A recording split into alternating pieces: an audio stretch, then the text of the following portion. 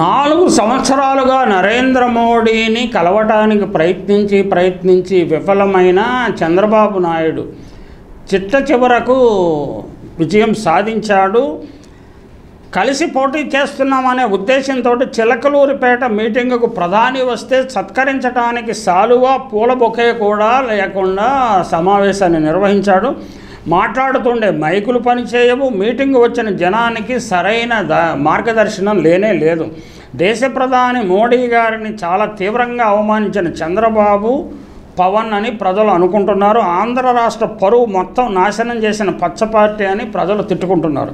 చంద్రబాబు పొరపాటున అధికారంలో ఉంటే రాబోయేది భ్రమరావతి భవిష్యత్తు సర్వనాశనం అనటం ఖాయం అని ప్రజలు భావిస్తున్నారు. నిన్న జరిగిన సభ అత్యంత దయనీయమైన పరిస్థితుల్లో జరిగిందన్న భావన ప్రజల్లోకి వెళ్ళిపోయింది.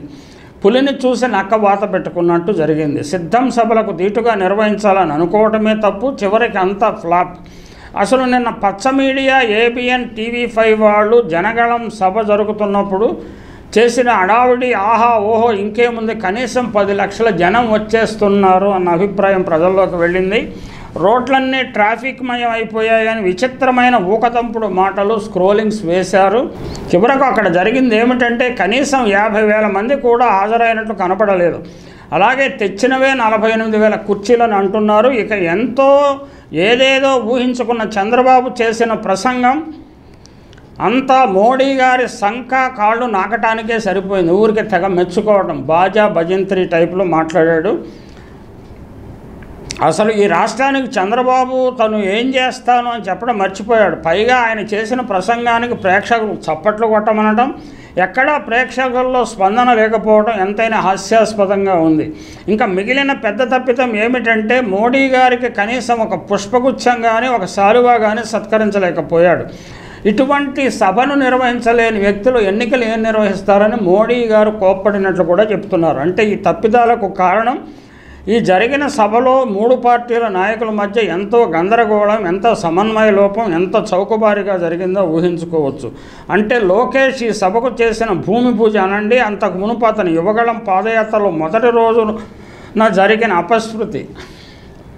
ఈ జరిగిన సంఘటనలన్నీ లోకేష్కు ఒక పెద్ద ఐరన్ పేరు తెచ్చేసింది. ఈ సభ మొత్తం చాలా తొందరపాటుతో ఈసురోమని పిల్ల పిల్లలుంటే దేశమే గతి బాగుపడును అంటే పార్టీ ఇలా ఈసురోమని ఉంటే ఎన్నికల్లో ఎలా విజయం సాధిస్తుంది? అంటే ఒక పక్క బీజేపీ కేడర్ జనసేన కేడర్కి టీడీపీ కేడర్కి మధ్య సమన్వయ లోపం.